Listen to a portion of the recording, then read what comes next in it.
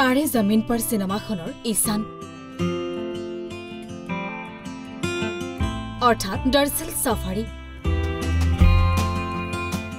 মনত আছেনে আপোনাৰ কণমানিটিৰ অভিনয়? অভিনয়ত প্ৰতিজন দৰ্শকে চকু লুটুকিছিল। অভিনয়ৰে হৃদয় চিনিছিল দৰ্শকৰ। আহ কি অভিনয় আছিল! তাৰে জমিন পৰ চিনেমাখনৰ ঈশানৰ চৰিত্ৰটো যেন দৰ্শিল চফাৰীৰ বাবেই লিখা হৈছিল। বলিউডৰ ছুপাৰষ্টাৰ আমিৰ খানেও আপ্লুত হৈছিল দৰ্শিলৰ অভিনয়ত। এতিয়াও চিনেমাখন বাৰ বাৰ চালেও যেন হেঁপাহ নপলায়। কিন্তু সেই কণমানিটি এতিয়া ডাঙৰ হল। দৰ্শিল চাফাৰী এতিয়া পঁচিছ বছৰীয়া ডেকা। হেণ্ডচাম স্মাৰ্ট ষ্টাইলিছ দহ বছৰ বয়সতে তাৰে জমিন পৰ চিনেমাখনৰ পৰা আৰম্ভ কৰি এতিয়াও দৰ্শিলে অভিনয়ৰ লগত ওতঃপ্ৰোতভাৱে জড়িত আছে। কিছুদিন পূৰ্বে দৰ্শিল চাফাৰীয়ে অভিনয় কৰিছিল এটি ৰোমান্টিক চৰিত্ৰত। কেপিটেল এ স্মল এ নামৰ ছবিখনত নিজৰ অভিনয়ৰ যাদুৰে পুনৰ হৃদয় জিদিবলৈ সক্ষম হৈছে দৰ্শিলে। এতিয়া তেওঁ এজন সফল অভিনেতা। কিন্তু অভিনয়ৰ মাজতে দৰ্শিলে সন্মুখীন হৈছিল বহুতো প্ৰত্যাহ্বানৰ।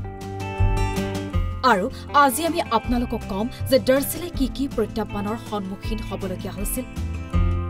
মানুহৰ ঠাট্টাৰ সন্মুখীন হৈছিল দৰ্শিল দৰ্শিলৰ দাঁতক লৈ হাঁহিছিল এছাম লোকে।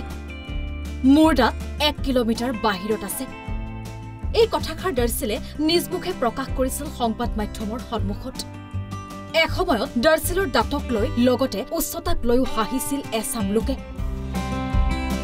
অৰ্থাৎ ব্যক্তিগত জীৱনত তাচ্ছিল্যৰ সন্মুখীন হৈছিল দৰ্শিল চাফাৰী। কেনেকৈ তেওঁ চিনেমাত অভিনয় কৰাৰ সুযোগ লাভ কৰিলে এই সকলোবোৰ প্ৰশ্নৰ সন্মুখীন হৈছিল দৰ্শিল চাফাৰী। দহ বছৰ বয়সতে সমালোচনাৰ সন্মুখীন হৈছিল তেওঁ। আৰু এই সকলোবোৰ হজম কৰিব পৰা নাছিল দৰ্শিলে।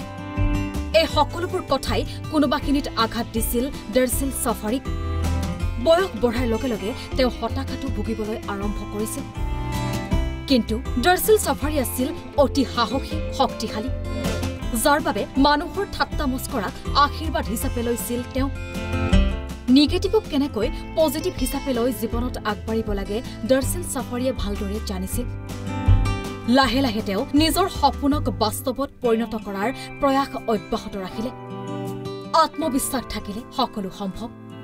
জ্বলন্ত উদাহৰণ দৰ্শিল চাফাৰী হেজাৰ বাধাক নেওচি নিজৰ লক্ষ্যত উপনীত হলগৈ দৰ্শিল এতিয়া তেওঁৰ অনুৰাগীয়ে হেতা ওপৰা লাগে এখন চেলফিৰ বাবে।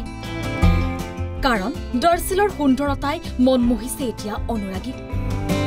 টিভি অনুষ্ঠান সংগীত ভিডিঅ'ৰ জৰিয়তে দৰ্শিল জিলিকিছে এতিয়া চিনেমা জগতত। তাৰে জমিন পৰ চিনেমাখন তেওঁৰ কেৰিয়াৰৰ বাবে এক আশীৰ্বাদ হিচাপে প্ৰমাণিত হোৱা বুলি মন্তব্য কৰিছে দৰ্শিলে দৰ্শকক নিজৰ অভিনয় শৈলীৰে বিশেষ উপহাৰ দি যোৱাৰ সপোন পুহি ৰাখিছে দৰ্শিল চাফাৰীয়ে।